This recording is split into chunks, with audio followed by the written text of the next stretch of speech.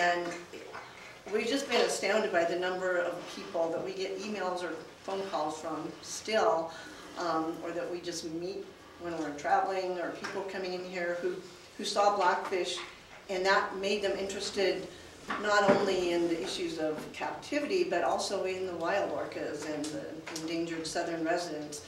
And some of our volunteers are people who've moved here from Texas and Florida to be closer to the orcas. And it's amazing um, to us to see one documentary have that much of an impact. Um, so that really um, just shot all of our educational programs and the Lolita campaign and everything we do just kind of grew exponentially after Blackfish and then getting the Langley Whale Center where we reach a lot more people. Um, that's been wonderful.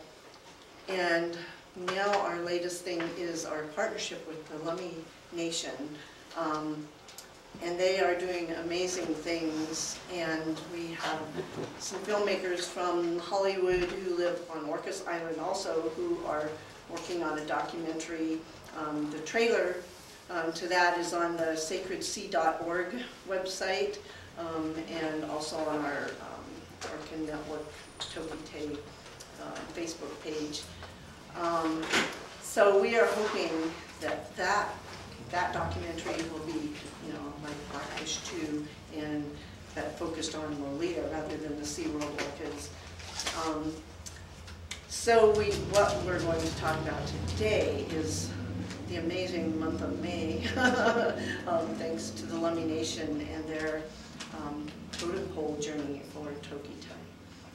Um, so I, you want to introduce more, and, Sure. and Howard's going to do most of the, the show, and what we, we presented up at the Vine Deloria Symposium up at the Northwest Indian College, and for that presentation, we were told to not even use a PowerPoint, and that most of the presentations were going to be in the native tradition of storytelling. And the experience of the totem pole journey, um, I can't even talk about it without crying. It was so intensely emotional, and it's you can't just do a PowerPoint presentation about it.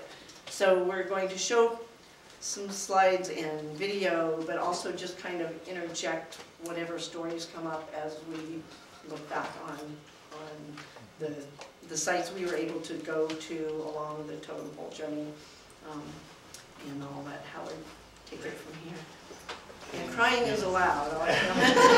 Every single totem journey event some of them, everyone there was crying, and most of them, everyone cried at some point during, whether it was touching the totem pole or listening to the speakers or the singers or, Or when Um, they were supposed to be the speakers. yeah, yeah, yeah, there's Yeah, some good happened a lot. stories there too. Um, Can you do the live stream thing? What do I do? Network? Well, actually, okay, you keep talking for a minute. I just wanted to say something real quick, um, since you brought up blackfish, that these two couples here have seen blackfish thirty times. They're from Colorado, and I just think that is a new record.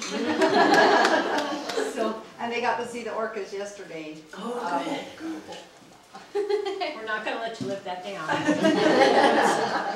You're celebrities. Yeah, well, we should take your picture and put it by the mm-hmm. Blackfish TV. Yeah. With your, with your review, you know. We liked it so much. I think that may even be more than we've seen.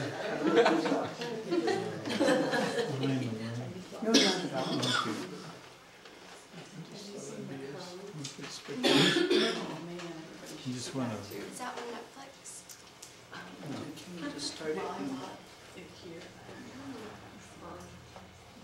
Um, How did I get to live stream okay. Yeah, if you can just get to live stream and then save it there.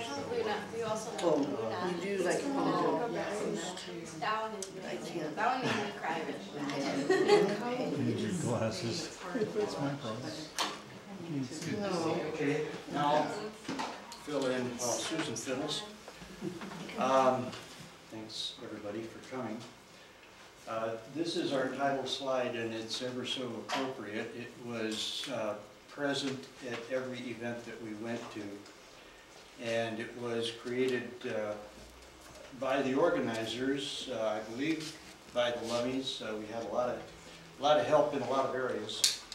Uh, But I love it, because not only is the messaging great, I mean, really good to, to hear, but the imagery there, in the middle is the Lummi insignia with the globe in front of it. Um, And of course, the very vigorous orcas uh, circling around it. But the background, whether inadvertent or not, I don't know, but So this means. yeah, okay. Um, Is, I'm, it sure looks to me like exactly where the site is for Toki's Sea Pen Retirement Center on Orcas Island. It's just that kind of scene, so I'm thinking that, I'll go with that. So this, uh, okay. Is that not on?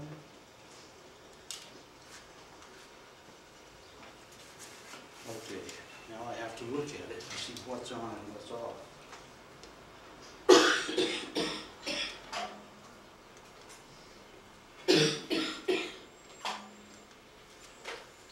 Um, again, Just manually do it. No, it should work. Boy, everything worked at home. I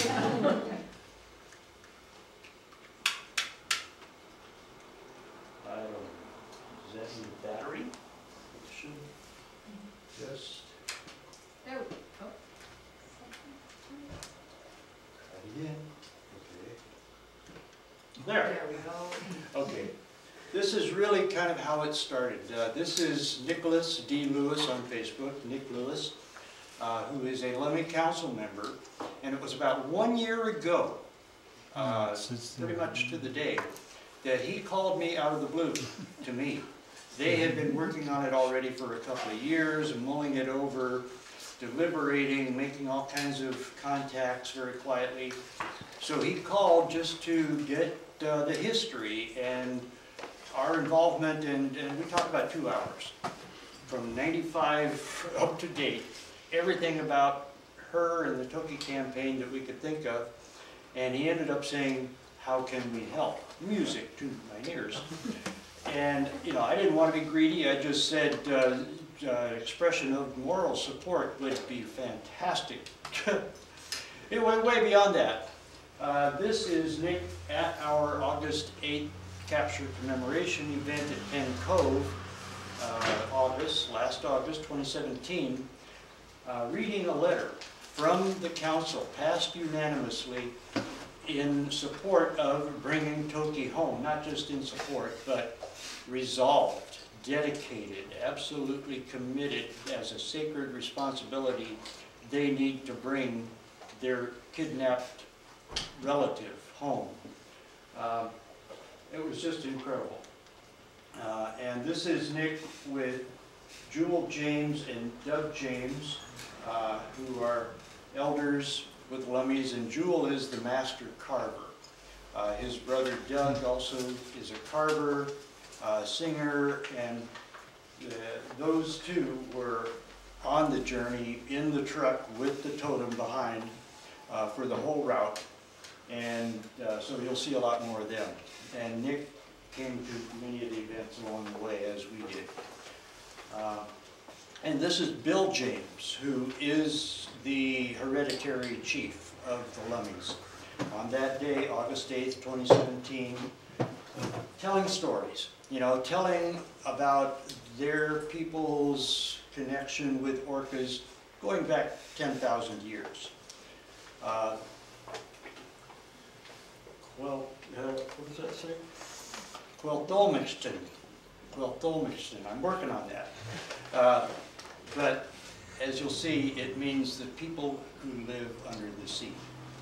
And they are their people. Uh, So, I mean, it was consecrated in every possible way. The Lummies are doing this. It was just, I, I couldn't believe it, and it's been that way ever since. Uh, And this is the journey, this is Wendy's uh, setup of the, the map that showed the journey. Let's see if this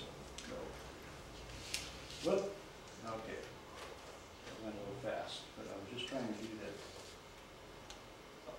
Okay, it's just a weak uh, laser, but uh, anyway, so that's the journey from the Lummi Nation north of Bellingham, all the way down to San Diego, many events along the way, and then across with events in Texas, Austin, and Houston, and then, Arizona. and Arizona, and then uh, over to Miami. Um, And this was sort of the, well, there's the totem, uh, and the announcement of the May 10th blessing at Lummi to start the journey. Uh, So that, you know, we- we didn't attend that one. Uh, There were several, actually, and some were purely tribal, uh, but there were some other more public events. Um, And this is uh, the first step to Bellingham. And we went to that at the Unitarian Fellowship Church, uh, and it was already just uh, so emotional. Uh, This was the pastor there giving her blessing and, and, uh, well, actually, that was Freddie. Uh, But uh, the pastor did that. Uh, You'll meet Freddie, by the way, he's a main player in all of this.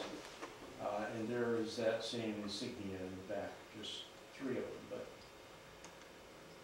And then afterward, we did what uh, people did at every step, every part of the journey, was touch the totem.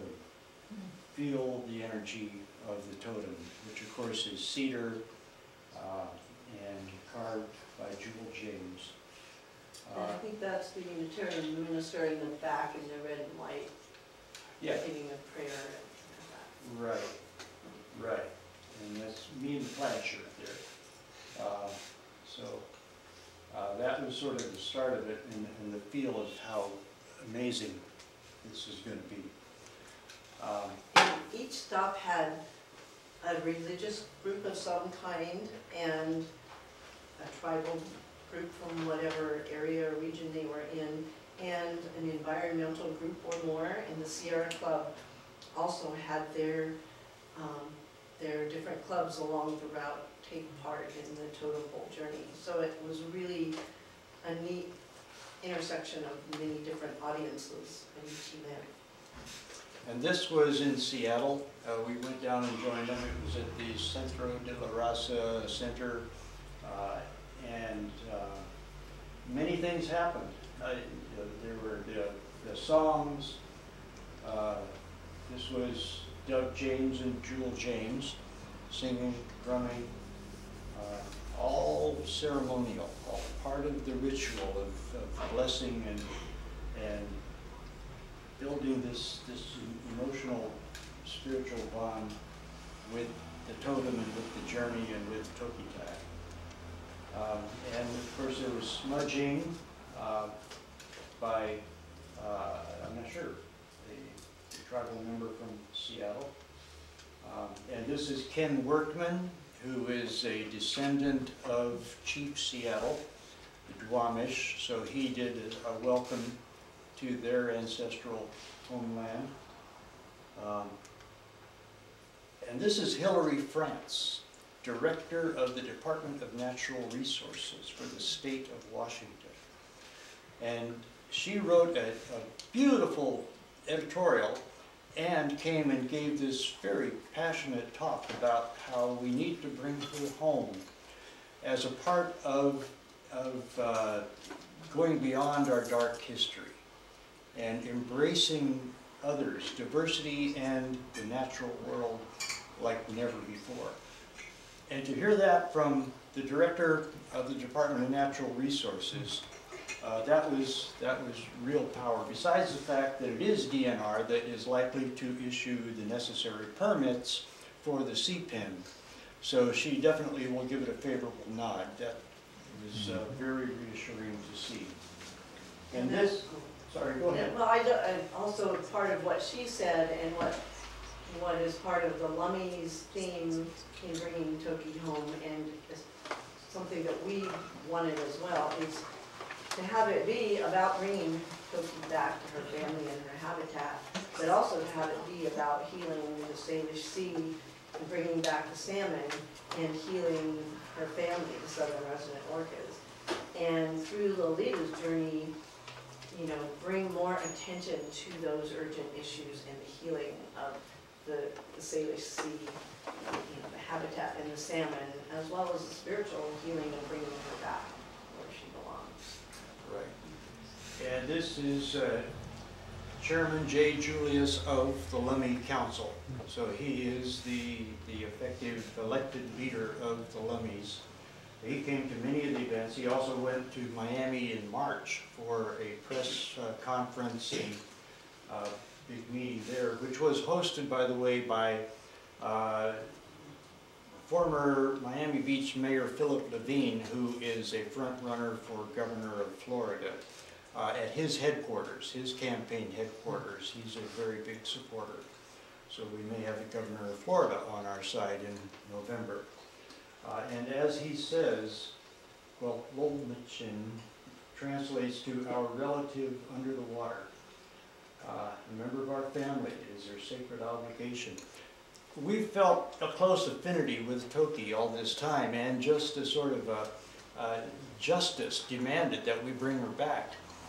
But they feel something that goes way deeper and way further back in history. Their, their ancestral familial connection with the orcas of the Salish Sea. The Lummies territory was, I'm not sure the total outline of it, but from around Bellingham, north uh, of here, all the way across, all of the San Juan Islands and the, the Canadian, some of the Gulf Islands and, and uh, the Saanich. The Saanich people in, in BC on Vancouver Island are actually the same. They're Lummies. There, there was an international border and then they gave them two different names, but they're the same people.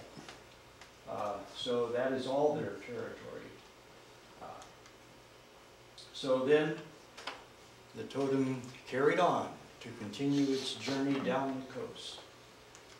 Uh, And first stop was Portland, where some Aztecs uh, greeted and danced and did ceremonies uh, in amazing regalia. I mean, this is really incredible. I wish we could have gone to that one, I bet it was just, just incredible. Uh, There are, by the way, I don't know how many, you know, hundreds of photos and videos uh, at a couple of uh, sites that I'll give you the names of here soon. And as Susan mentioned, uh, this is about storytelling. No graphs or charts, almost no words at all. What Chairman Julius had to say was really the only words, uh, which is in keeping with the the Lummi and really the native American tradition of storytelling. Uh, We learned that up at the Vine Deloria Symposium uh, in May, uh, that, that, that is just much more effective, much more sort of uh, immediate, you know, contact with people to tell stories. So this is unscripted, folks. Um, So then they went down to uh, Hollywood, actually. Uh, And this was not a public, this was an invitation-only event at the Mulholland Tennis Club in Hollywood, high on a hill, uh, looking uh, one way to the San Fernando Valley and the other way to the city of LA. So a really nice location, I had to throw in those. And this is uh, Jenny Trimmingham giving the sort of the pre-game huddle uh, who's going to go in what order and all that. She was organizing that particular event. Uh, So there's Jewel, laser, no laser, sorry about that. And, well, but it does change the slide, um, which is okay, because that is uh, the Lhaq'temish Foundation, which is sort of the nonprofit foundation in support of the Lummi programs, all sorts of programs. Uh, and in fact, Lac is their name for themselves, not Lummi. I don't know who gave them Lummi. They go with it, but uh, their ancestral name is Lac Um, And this is, uh, was given out, these cards, uh, the rights of all peoples to share their social networks. So, they don't shy from technology and social media, uh, by a long shot. There was, that was just a constant throughout this entire thing. Many, many postings and videos and live streams, uh, in all of it. I think they live streamed every event, and we don't have photos from, there were, so there was a Tacoma Puyallup event and um, another Oregon, another couple Oregon, or, um, yeah, Oregon and California events. um, They were on, Arizona that I don't think we, right, we have, but the, our, um, our shared, is it our shared journey. right. um, journey. Totem Uh, journey. oh, yeah, Facebook our- page. Our shared Our responsibility. shared responsibility, Totem yes, journey is- Journey, yeah. is a Facebook page that has um, endless photos and videos. And our Sacred Sea website probably has them Yeah. linked as well. Right, sacredsea.org, you'll see that again. Uh, So this was the event, I don't know how many, you know, uh, Hollywood notables were in the crowd. It was actually organized by the documentary filmmakers, uh, Denny and Jeff, who are producing a documentary uh, that they expect to be a full-length feature documentary, much like Blackfish. Uh, So, and they've made many movies, and so they invited a lot of their people. Uh, And this is Adam Beach. Uh, You may have seen him in the, uh, the Code Talkers, or in Joe Dirt, Or smoke signals. or Smoke Signals. Uh, And uh, so he emceed many of the events, and he was given uh, these items, the drum and the traditional hat.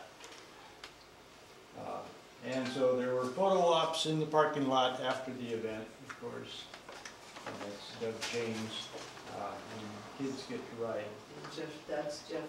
Yeah, that's- the Filmmaker, one of the filmmakers. Right, right behind Doug. Um, And Julianne Knoll, and you'll see a little more of her too. In fact, she's coming to Seattle tomorrow. Tomorrow's a big event uh, at 1401 uh, uh, Alaskan Way, right there on the wharf between 57 and 59. I don't know if there's a 50, anyway. uh, She'll be there with her mom. They are driving up right now from Hollywood. That's where they live. Um, And has an amazing story, which is that Robin, the mom, was about uh, nine or about her age when they lived in Oak Harbor and in 1970. And she saw the captures. And she was very shook up, just mortified. And so her mother said, if you can do something about it, please do tell your teacher.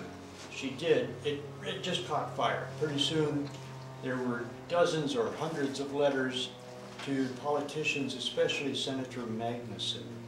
That was 1970. And that got him rolling, that we've got to protect these orcas from the captures. That, that, it, it took a while. There was the Marine Mammal Protection Act he was a big part of. it. Anyway, they got a whole lot of uh, legal, you know, legislative help uh, to end the captures right there. Uh, So they got to Miami, and this was their first stop. This was before we got there. They went straight to the heart of the matter, right to the front door. In fact, they went in the Seaquarium's own parking lot. I'm sure they didn't ask. Um, And uh, set that up to like plant their flag. Uh, We're here, we're not going away, uh, we're not gonna be shy about it, we want Tokitae. Uh, So that was sort of their opening volley. Uh, And we got there on the 24th, on the evening of the 24th. There was gonna be an event at a high school in Miami Beach the next morning, but that got canceled at the last minute uh, because the superintendent got worried about the political uh, controversy. Really, it's, the Seaquarium is of course a big business in the city and has a whole lot of connections, and so they didn't want that, so they canceled it. But, so we got there and joined the party. Um, and, uh, you know, it was a good sort of, you know, bonding, get together, meet people you didn't know already. Um, met up with our friends in Miami who, uh, you know, we've been working with for years. Um, and you'll meet some of them too. Uh, and in the middle there is uh, Alejandro Dimitru, uh, blanking, uh, Al- Alejandro. Yeah, uh, yeah, Dentino. Anyway, Alejandro, uh, who is a tireless activist, self-proclaimed activist for Toki. Uh, he's out there at the front gate every Saturday with a team of eight or 10 or 20 or 30. Um, he live streams too, so you can find him on Facebook all over the place. What's his name, Howard? Alejandro, Ali. Alejandro Dentino. Uh, yeah. Right, we'll have it. Uh, So that's her. The next morning, we went to see the show. Uh, And should work as, Did you cry watching the show?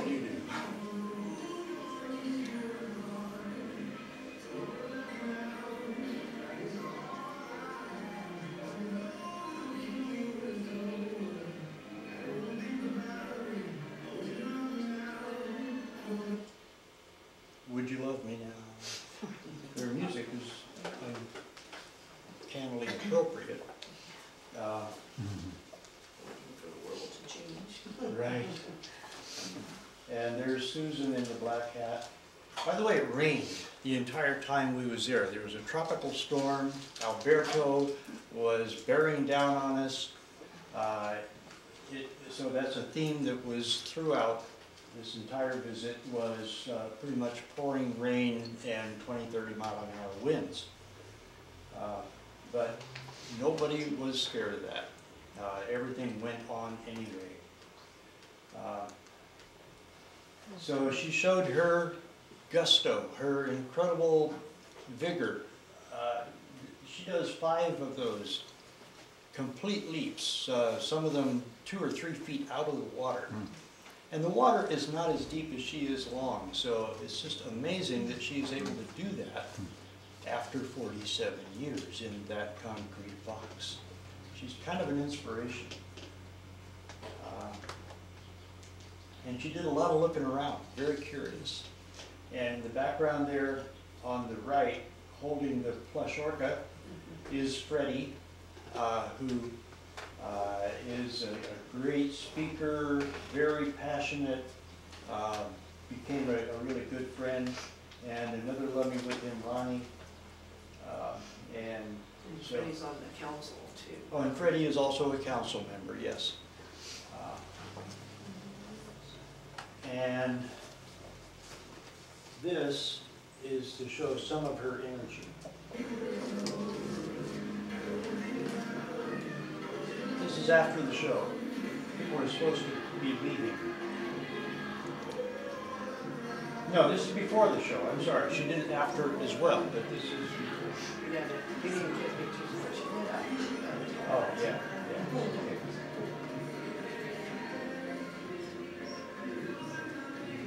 She's just picking up speed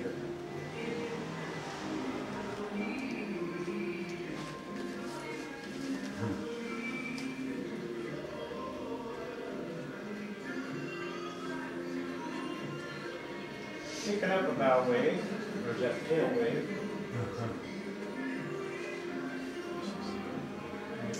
Boy, that's a little cool, isn't it? I know, and she's got not a scratch on her, so I don't know, she's got just incredible agility and self-control.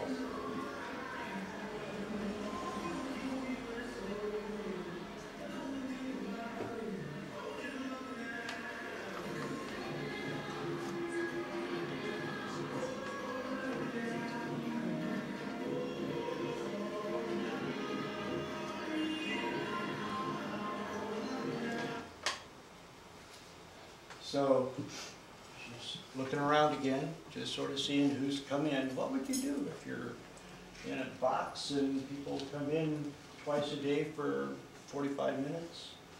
At least something. Uh, and, and I would like to see, um, like Robin and her daughter had never met Lolita other than Robin when, in, during the captures. And they weren't gonna go see her because, you know, we're always telling people, don't go to these shows, don't support them, don't buy a ticket.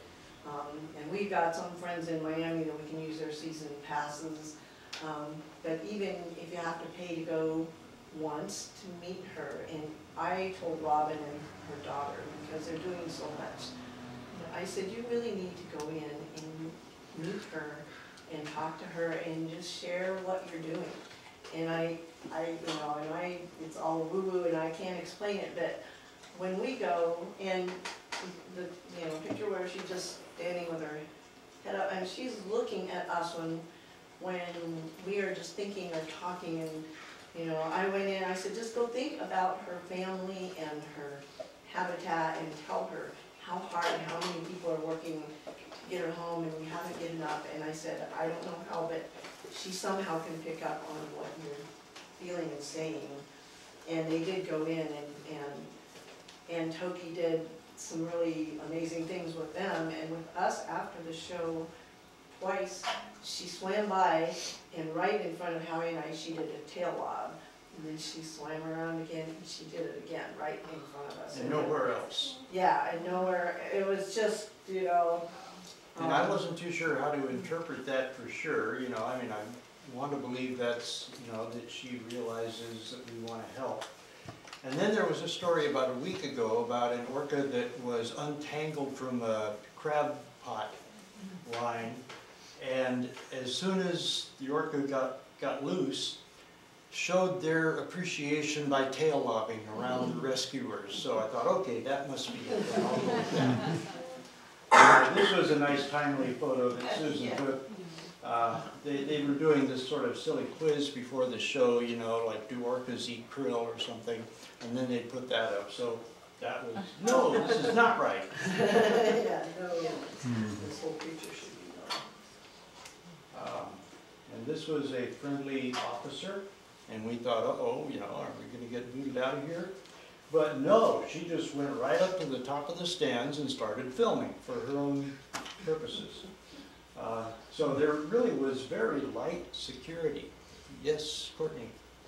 Howard, when you're there, is it really obvious to anybody that's in the stands that, that, that that's her only place to swim and live? That there's not like a place hidden that she gets to swim back to or anything? Is it really obvious? Well, they don't people? say that. They don't you say that, but is it But pretty it is- clear? It is because. pretty clear when you you're there. See, and in fact, somebody made that observation, and I can't remember, it was in a Facebook post.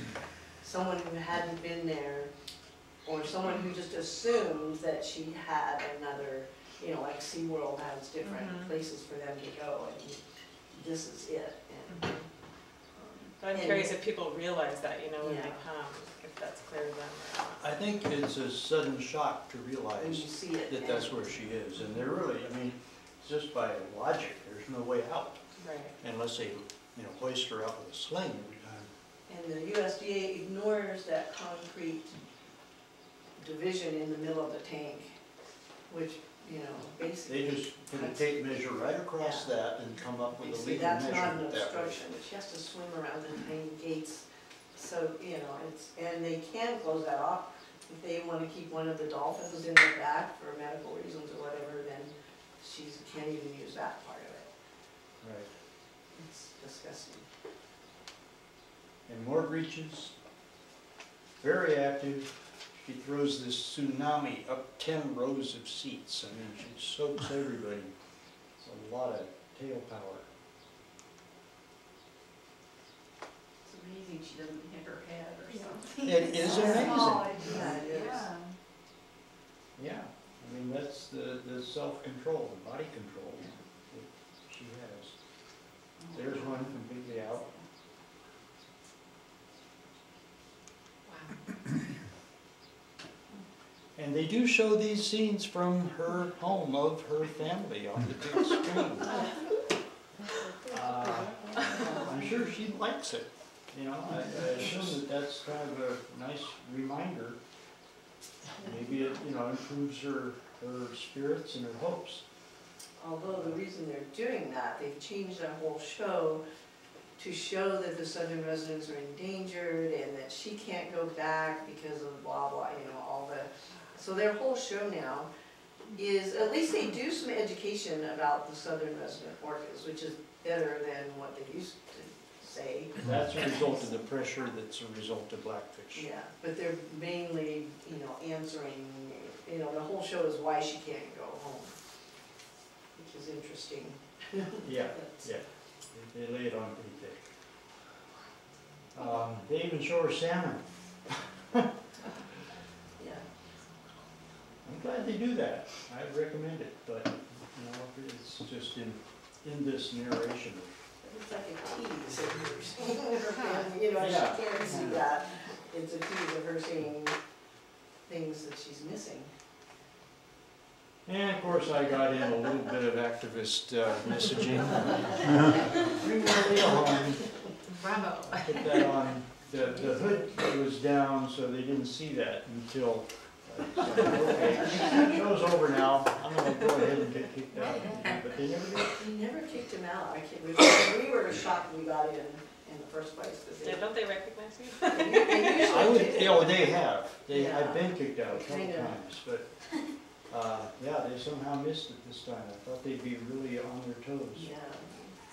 Um, Yeah, well, it, it may have to do with the general manager who was the son of the owner quit about three months ago, just with no explanation, no Same, the publicity. same week as the big press conference with, The same week in March, that's right.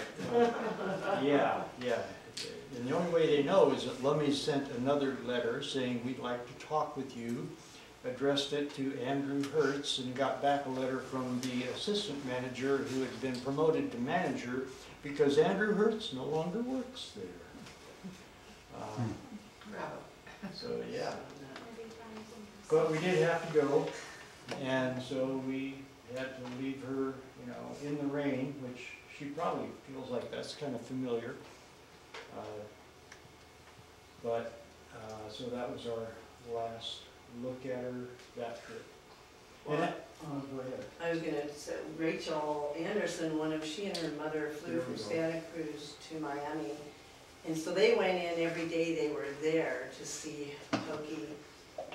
And the last day they went in, after all the, our big, you know, march to the aquarium, they some, they picked up on, probably saw her in Facebook posts.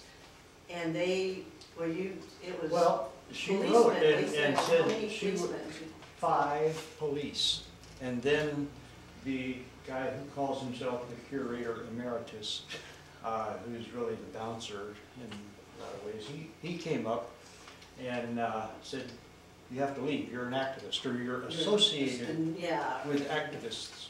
Hmm.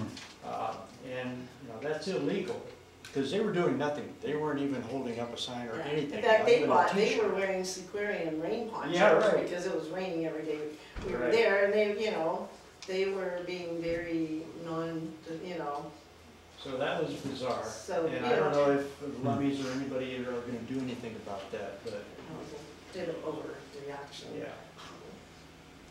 So that night, uh, we all met at uh, the loft home of a friend of ours, Lawrence Curtis. Um, And this sort of, you know, happened almost spontaneously. They were just gonna come over and relax. And somebody said, let's do interviews and performances. So a good five high-quality professional video cameras and other photographers were there. And these are the Black Hawk Singers. And I'm going to play what they sounded like in a little while in March. Um, But it was really great in the acoustics of this big loft as well. Um, But they came and sort of set the tone, set the mood for every, every event that followed. Uh, Really, really amazing, you know, deep feeling when they sing. I'll play a little, it's gone through, you know, a lot of steps to get to my laptop and the speakers, but hopefully you'll be able to hear it. So this is just some of it. This is Doug and Jewel James, again, talking about how they got into carving and what carving means to them. And they've carved many totems and um, done just all sorts of artwork around the Lummis. And what I learned, one thing, uh, from Jewel on the right there, was that their older brother was a master carver, but he died. And so for him, it's remembering his brother. He has, you know, every, every chip he, he makes is uh, in honor of his brother. And their carving house is called the House of Tears Carvers. And Yeah. I think the first big totem pole and journey they did was after 9/11. And they carved a pole that they brought to all the sites that, um, where we lost people and did, you know, spiritual healings there and, um, and left the pole there. And then they've done several others for different environmental causes. And you just can't go to one of those events and see the pole and feel it and touch it and be there without crying. And I'm like, I totally get what the House of Tears is about. And then the more stories they shared at each event and, you know, their personal pains and struggles, um, family losses, um, it was, it was just like a group healing therapy experience. Um, but it's just amazing how they've started this carving and totem journey, um, Right. event, a thing that, that, for so many different causes, and it's so beautiful and effective. And that's Freddie again on the left, probably holding back tears. So then, the next morning, twenty-sixth of May, we went to the Miami Circle, which is this uh, ancient, thousands of years old archaeological site, just discovered in nineteen ninety-eight. Uh, They're digging a basement for a condo and discovered it, and uh, After a big fight, it was set aside, made into a park, and so it's a a sacred place.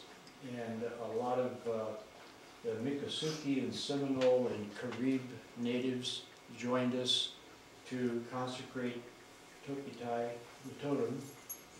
Uh, And those are seals, by the way, eight-foot seals, that when, when she's on display someday in Miami, uh, the totem is, uh, in Gainesville, Florida right now at a, at a museum, uh, but not on display, but, uh, the seals will hold her up.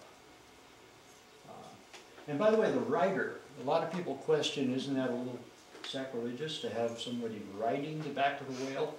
But they explained that that goes back to the myth, to, Uh, the stories of the people who ride the whale to the bottom of the sea and are greeted and welcomed, and those people in their village at the bottom of the sea take human form, and so it's sort of a symbol of those familial connections with the orcas, so you kind of have to know the story. That's Jewel, and uh, it was raining, uh, and he uh, gave a lot of blessings and spoke a lot of words. Uh, And his brother Doug.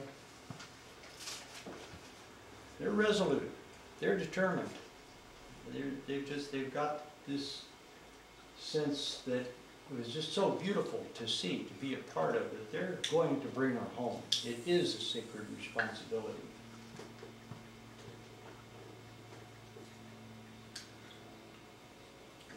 And that's a quote from him.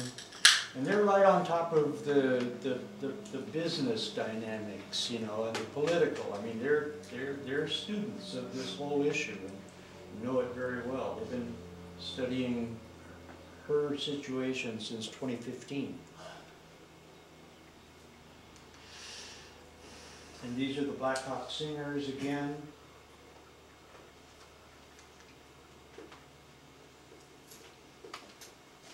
There would have been, I'm sure, you know, ten times the turnout if it hadn't been pouring rain It and, was just drenching rain and the wind started that afternoon as well. right, there were all kinds of alerts on the media. Uh, You know, it's- it was almost a tropical storm, but uh, Well, it it was was just the- relentless. It was Alberto was Right, I mean, and the next day there was that tornado, tornado watches. yeah, right, that didn't scare anybody either. Yeah, there was a a tornado watch nineteen miles south the next morning when we were at Seaquarium. No, it was for right that area. Yeah, it was for right there, It was an alert I to mean- take shelter right it was, right, and nobody cared. And one of the things that was said at the Vine Deloria Symposium by someone about Right. How nature is a participant in everything we do. So we just kept saying, well, nature is really participating. And, and here we were all crying at all the events, so it made sense that the sky was crying along with us and lots of tears from heaven. Yeah.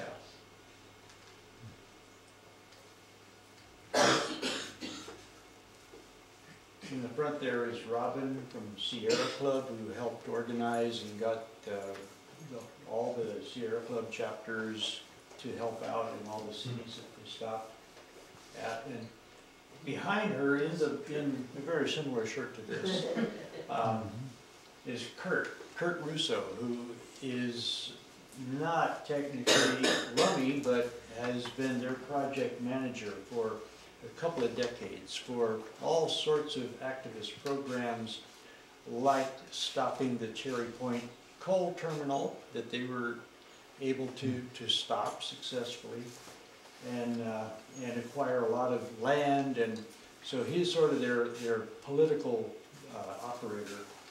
Um, and he is fearless too. He's great. So that night at Florida International University, Step back a little, I'm not sure. if- oh yeah, that.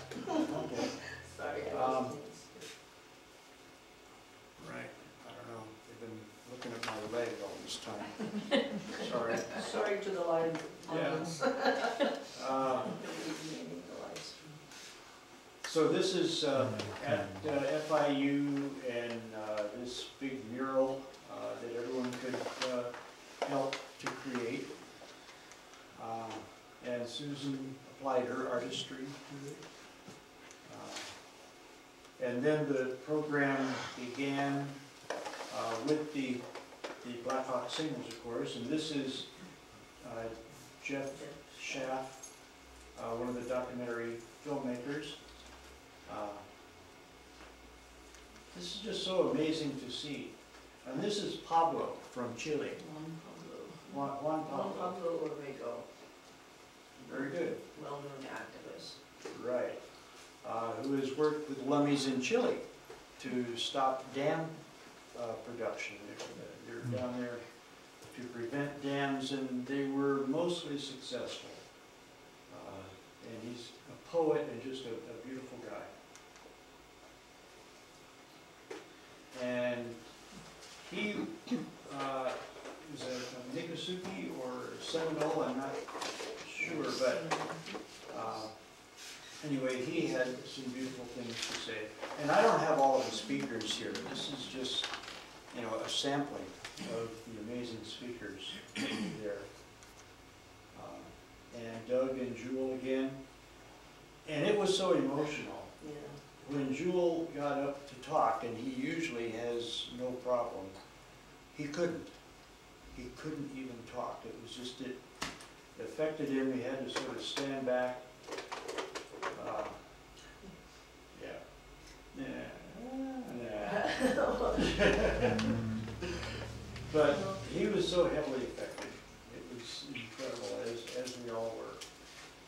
Well, what happened that night, everyone that spoke, um, like, and I think it started with Jewel, well, I'll say how he probably I don't say what he, he, he well, got up and at first I thought he was joking around because he was like, at the podium talking and he just came like, shit. shit."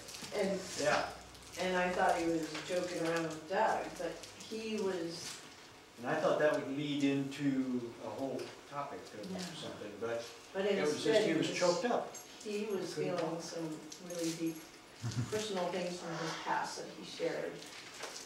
And, you know, so we're all just in tears.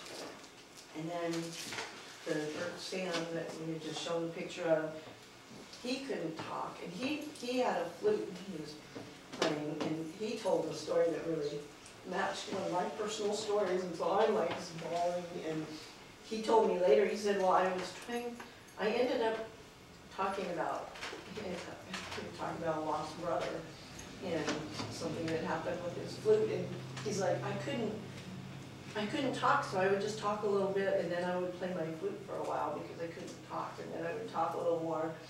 And, and Juan Pablo, the same thing, and everyone, and the whole audience that night, it was just, um, it's the most emotionally intense thing, and everyone said they ended up sharing something different, and then Robin, um, Jewel asked Robin and her daughter to come up and talk, and so she's sharing about seeing the captures and the mom and baby that she had become friends with that were in the nets for the weeks that they had them in Penn Cove are one, ended up being one of the moms and babies that they found dead on the beach.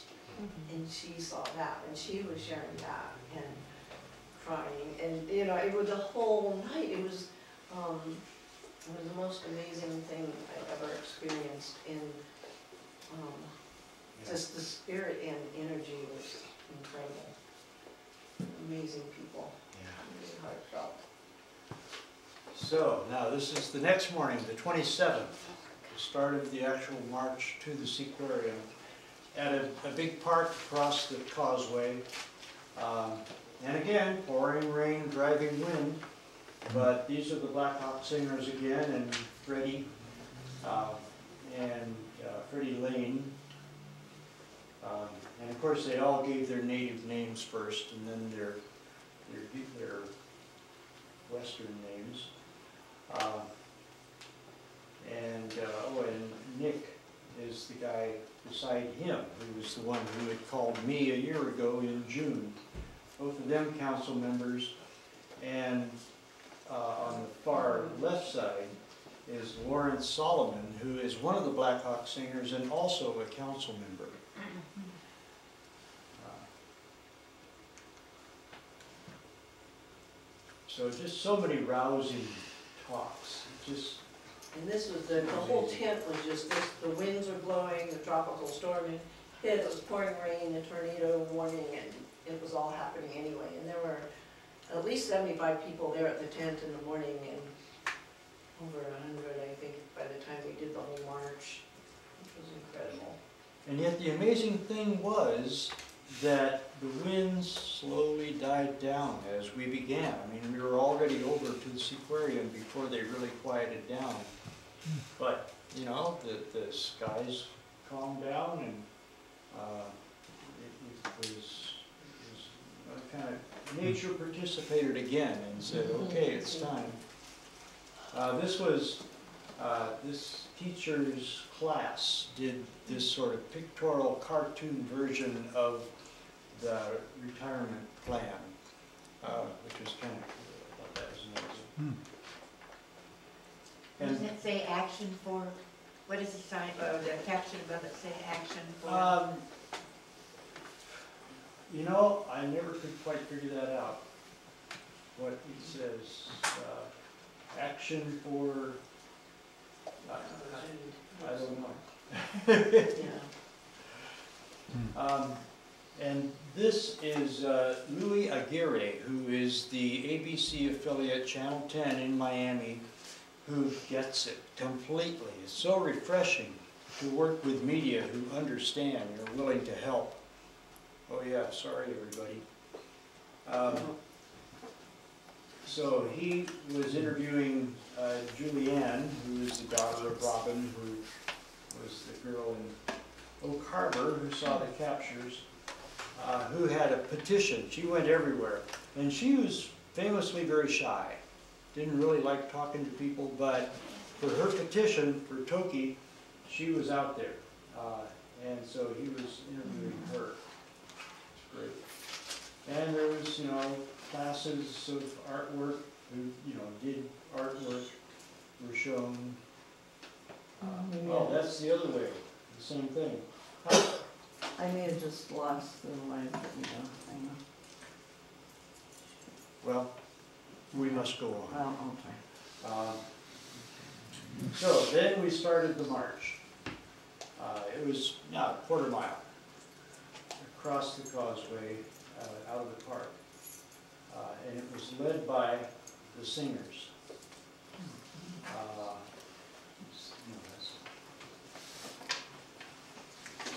uh, Okay, this is really poor video quality and probably audio too, but it was the best I could do, you know, it's from probably a phone video uh, onto Facebook and then onto my laptop and then uh, just with the video camera trying to pick it up. But it gives you a sense of how they sounded.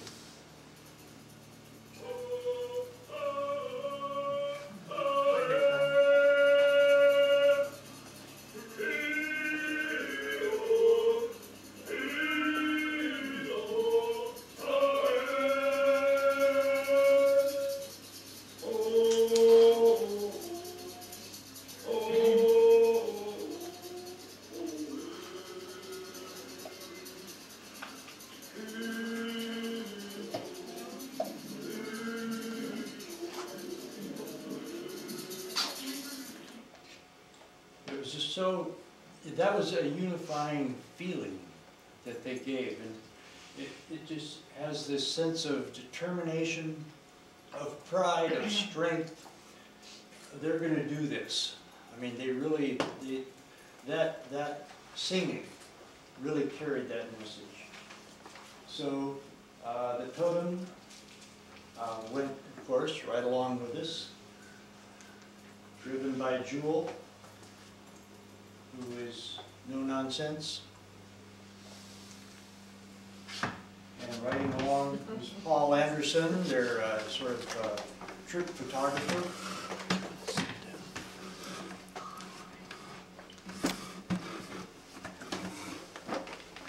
And then we got to the Seaquarium, to the sidewalk in front of the Seaquarium. And there was the friendly security in the golf cart, you know, who looked us over, but it wasn't a threatening presence, I was real glad to see that. There were some uh, Miami-Dade sheriff's officers just sort of directing traffic and making sure everybody was okay, and they were thanked appropriately for being there, and so uh, there was no real interference. Of course, we stayed off their property, but there's plenty of room on the sidewalk in front. And that's uh, Nick again, Nick Lewis. Um, And he was, you know, one of the three council members who were there.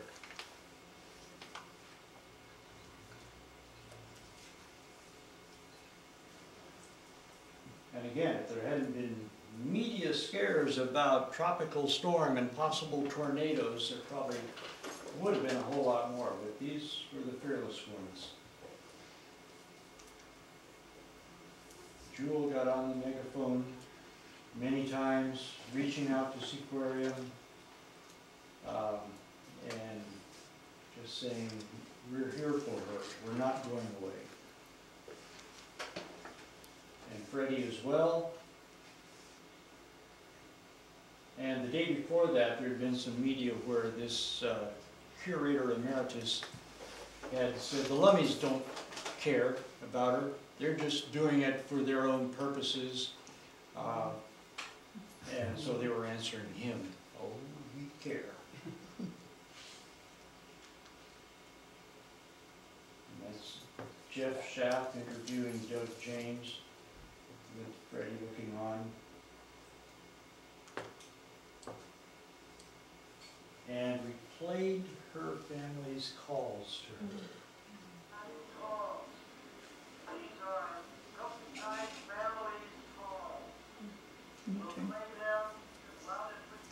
speakers up in.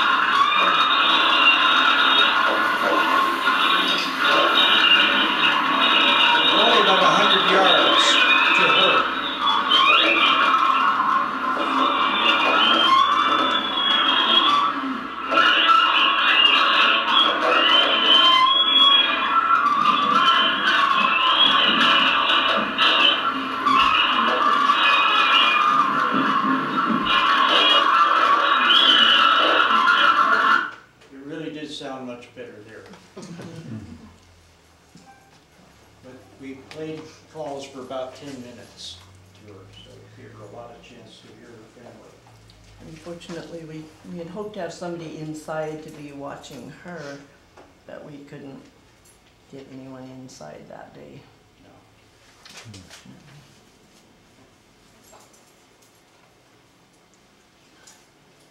And then we went uh, down the sidewalk again.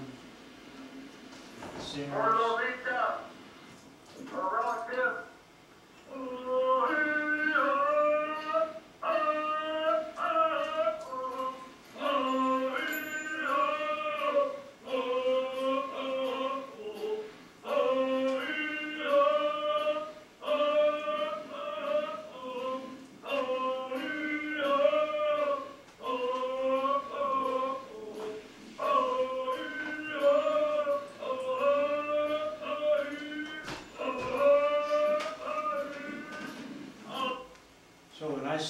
This campaign's gone to a whole new level, that's what I'm talking about. Uh, It's just so refreshing, having been trying to argue to bring her home for over 20 years, to suddenly have this kind of passionate and powerful support. Uh, We, now, she now has some really powerful friends. And has real potential now. Um, Lots of media, there's Alejandro with his billboard, he wears that all the time to the demonstrations and down the streets of Miami. And he reaches a big uh, Spanish-speaking um, group of people, uh, Alejandro.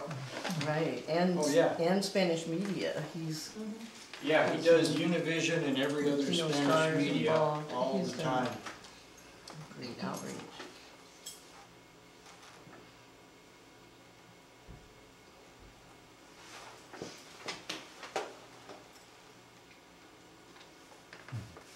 Played some more calls for her.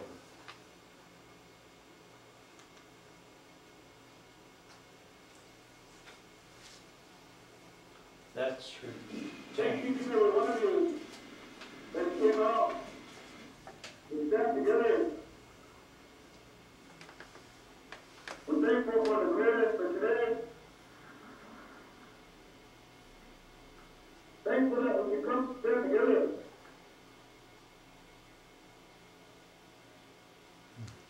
So these are not performers in the sense that we normally understand performers. They're, they're builders of spirit and, uh, and they really do convey that. Those songs just reverberated in my head, they still do. And that's Sylvia. uh, And she is uh, a Miami businesswoman, basically. She's a professional person who just gets it and has been helping organize things. She's sort of our Miami organizer in many ways. Uh, And she's very, very dedicated. That's the other TV station, Channel 7. They set up a, some, a cart that was playing music really, really loud in the parking lot, trying to drown us out. Yeah, They finally gave that up. Yeah, it was really just We were loud. gross, obnoxious music, and they did it before the singers started, or just when we got there. But I think they, once they saw there were two TV crews there, and they knew the Lummis were going to tell them how disrespectful that was, that uh, they turned it off pretty Yeah. quickly.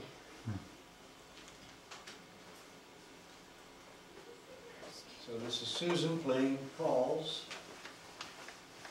through the megaphone.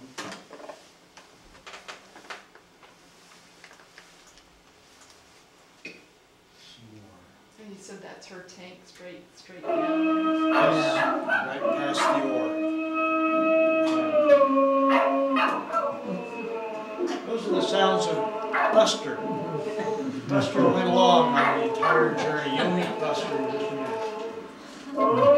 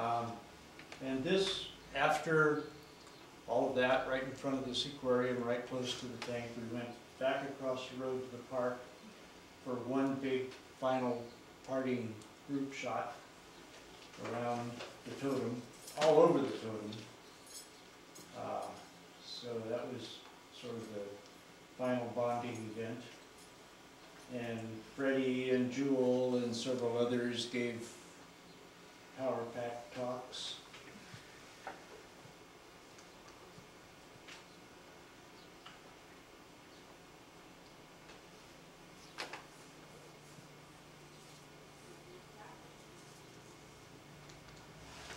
And there's Buster. Our guide and companion.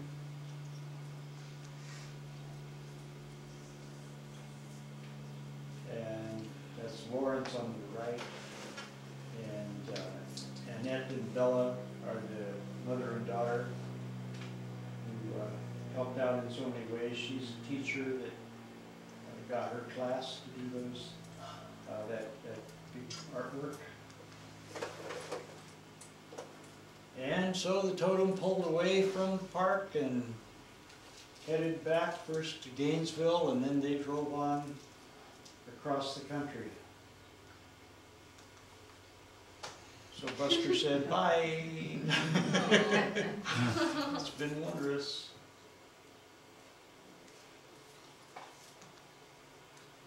So the next day, uh, no, that afternoon, That afternoon. we went to a restaurant in Miami, downtown Miami, across the street from this. Um, and that is the, the, one of the walls of the campaign headquarters of Philip Levine running for governor. Um, This is art Miami style. And it Uh, says, That is yeah, yeah, Free Lolita, Lolita. in case there's any mistake, there's a hashtag Free Lolita in the upper corner there. Uh, Hmm. Wow. It is pretty elaborate. Goodness. Trying to get a lot of attention, it's so big. Oh, it did, Colorful, yes. wasn't it? yeah, yeah, it's a fifty-foot orca is what it is. Wow. So we sort of uh, debriefed uh, with some sandwiches and beer. And that's Lawrence and Freddie again. So we had a good long time to just uh, talk about it, plan ahead. It was great.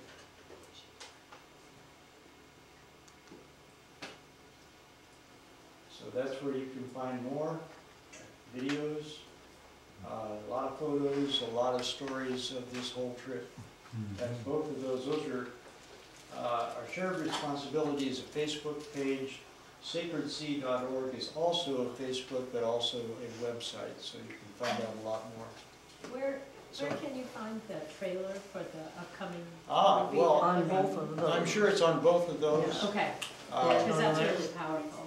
It, it, it is, and it played a, a lot of times. You should watch, anyone should watch it, Different. it's really good. Mhm. Yeah. Um, So, open to any inquiries? Yes? Um, I was telling Wendy, um, a couple of, I guess late May, I was on the Channel Seven, I'm not sure what affiliate that is, but of Miami Channel Seven News.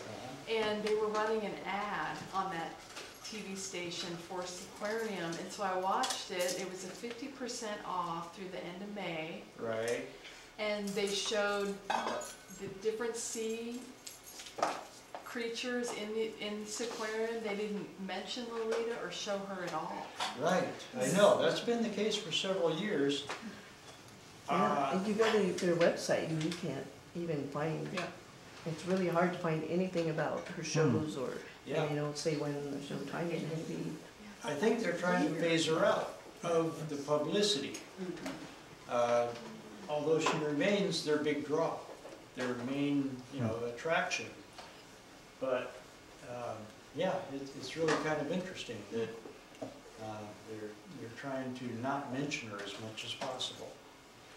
Do you, do you know, are, has their attendance for the shows gone down at I, all? yeah, her, their, the attendance of the shows, um, we can only estimate, and we, you know, rarely get in. We- Few people come in, and so, you know, they can see there weren't that many people when we were there, but there was a tropical storm. Um, But, no, it's proprietary information.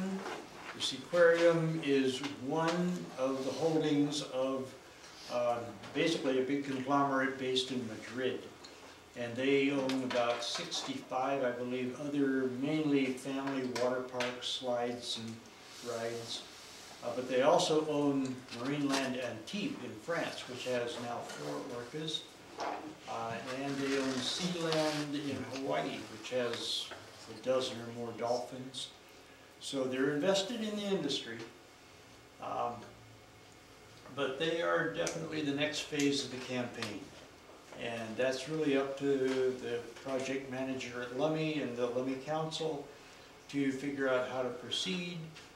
Um, But from the records we can find, the corporate records, they are hemorrhaging revenues from those parks.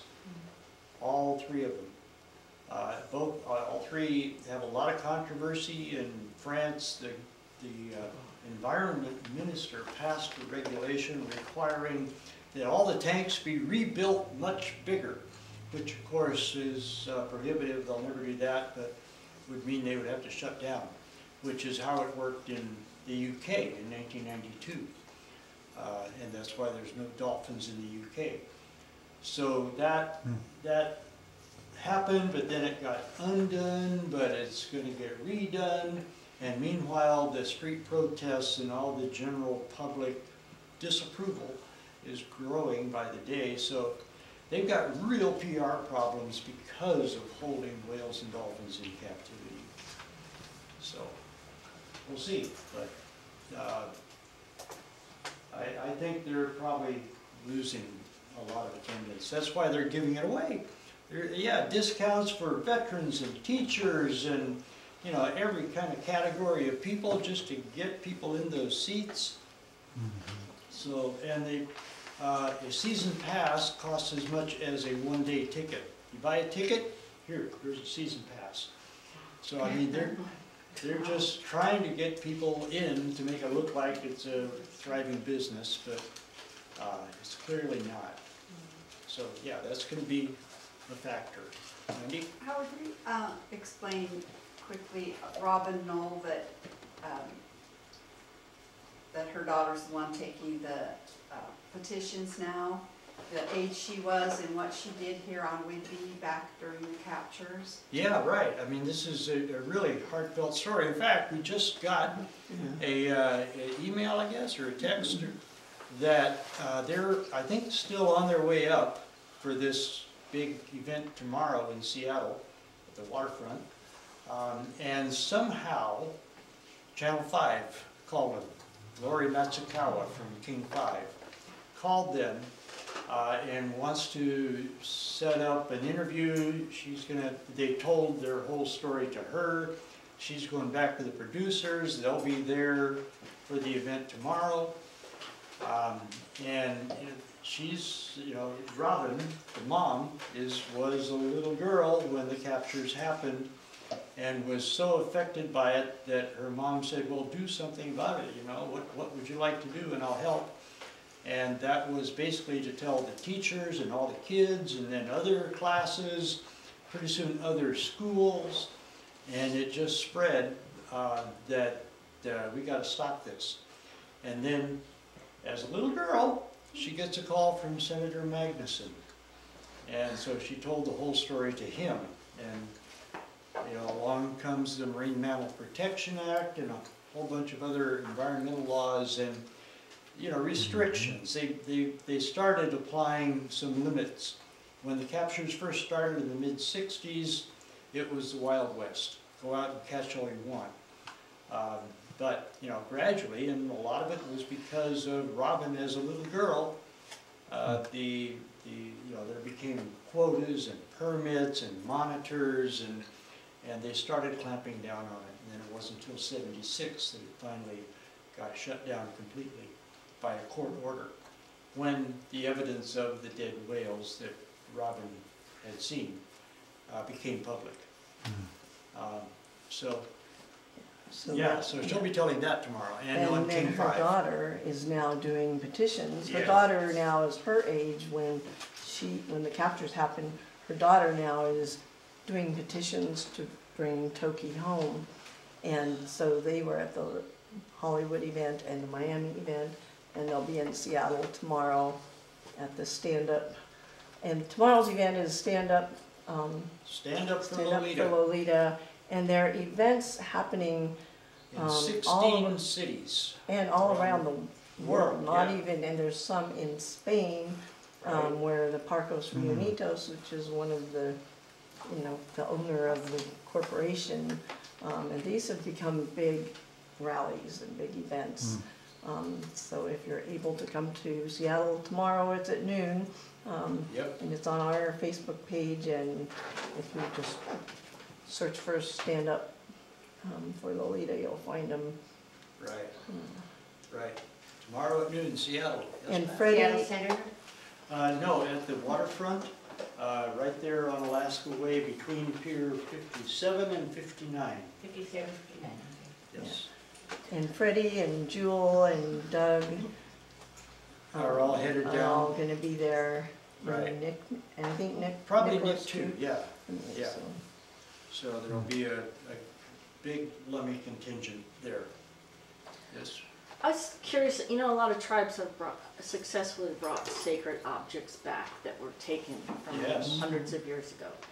Um, and there's the Repatriation Act to help them. Are the Lummis planning to s- sue over this and use that? I don't know. I would think so.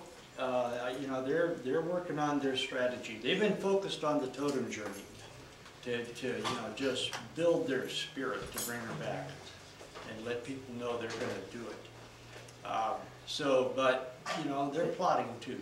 Yeah. And I, I don't, I don't know what their plans are.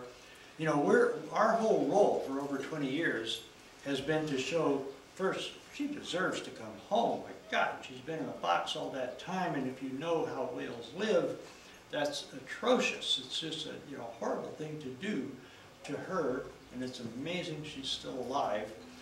And, really, more critically, that it can be done safely. That despite all the scare stories that we're hearing from not just Seaquarium, not just the entire park industry, but from most of the scientific community, marine mammal scientists, are saying basically the same thing. And that has a lot to do with how the industry has supported the scientific community. All these years, since the first founding of the Society for Marine Mammalogy, uh, they host the conferences, they offer the scholarships, and they're the only jobs. So nobody wants to contradict uh, the, the marine parks. So they go along with that. Oh yeah, there, you might uh, catch a disease.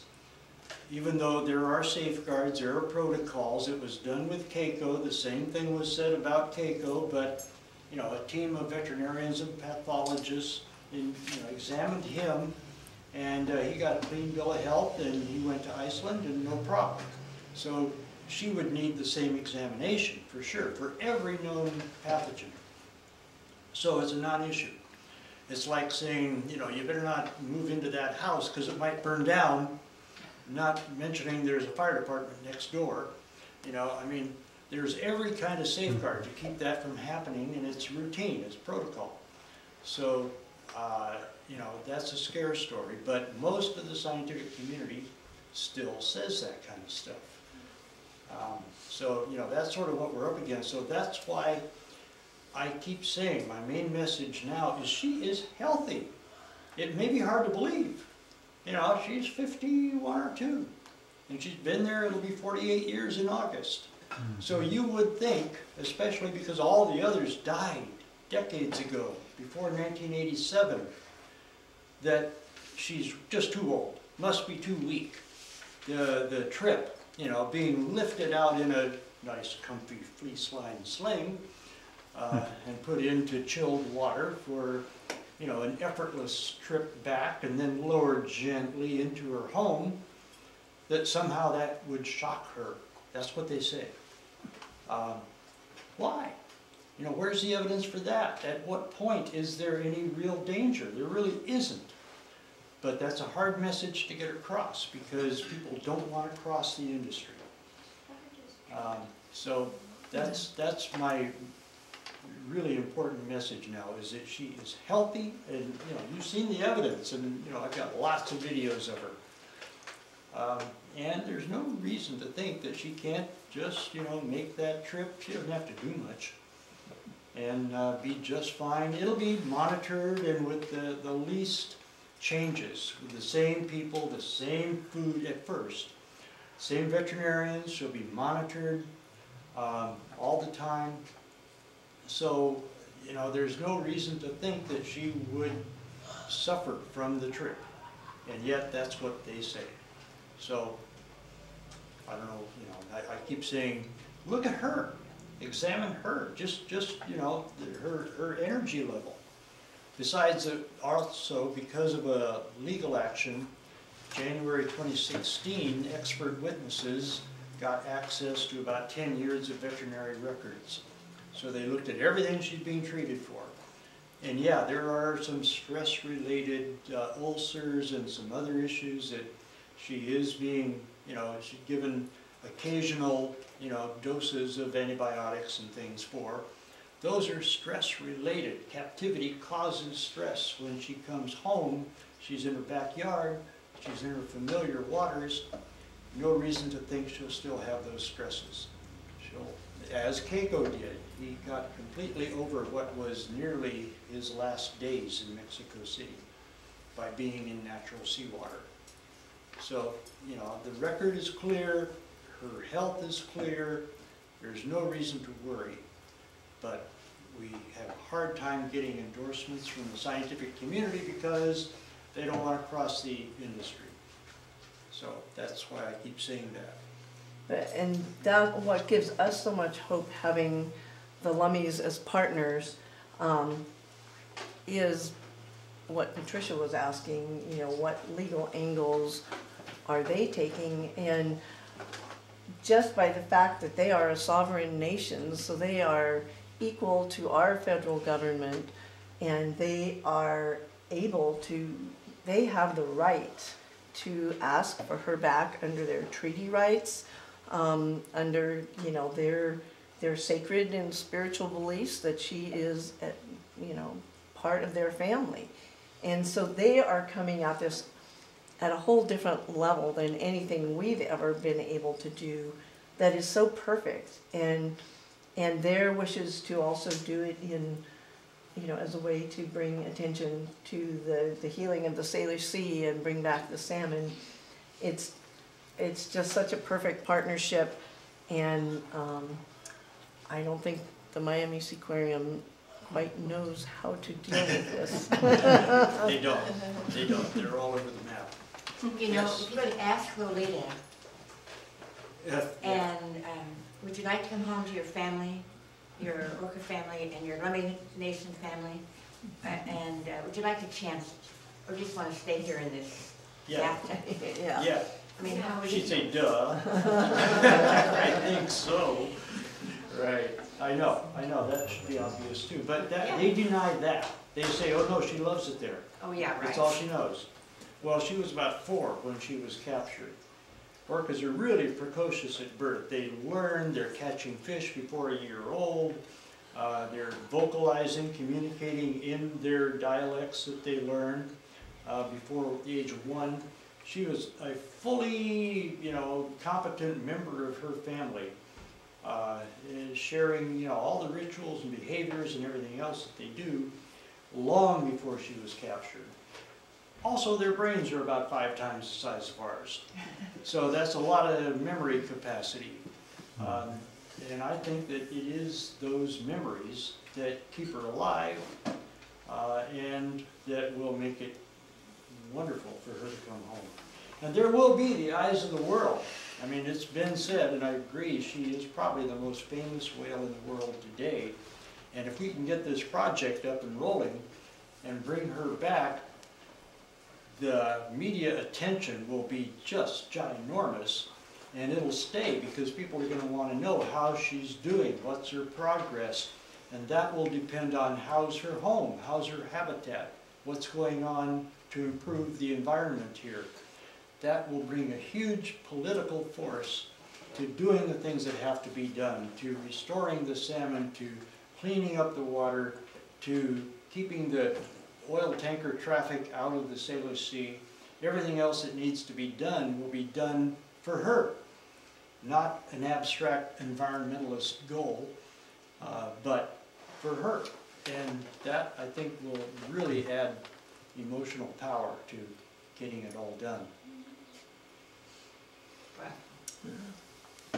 Yes. Um, well, that, back to what Susan was saying and what you just said about the condition of the Salish Sea and the lack of salmon.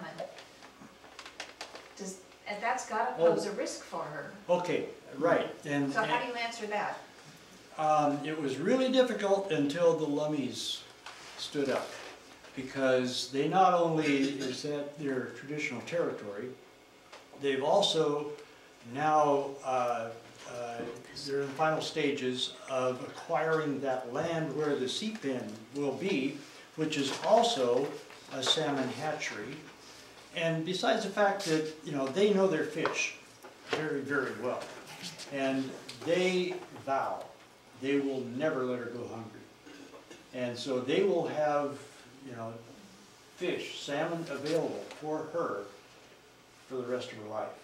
And they will take care, they'll, they'll, they'll make sure. I mean, they're, they're the caretakers that are not going away. They're not a nonprofit, they're not a government, they're a nation.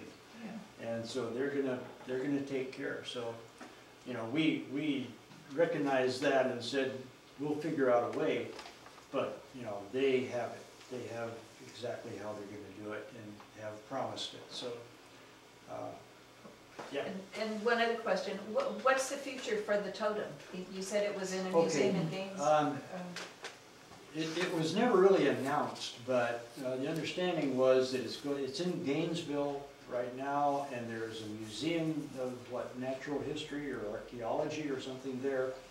And uh, it will be on display with some other artifacts and totems that have never seen the light of day, that will be a whole new display, and uh, we're going back, or they're going back anyway, in September to do that. So I think it'll be on display probably in Gainesville, as I understand.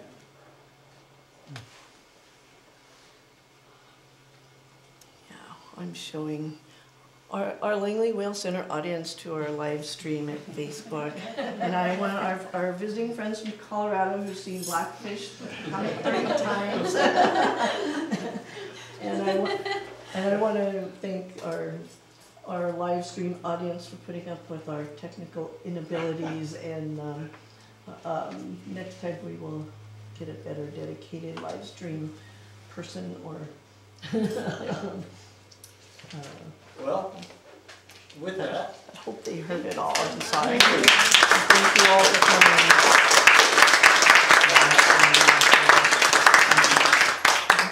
Thank you.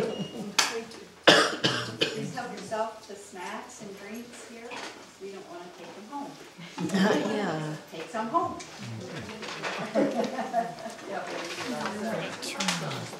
yeah.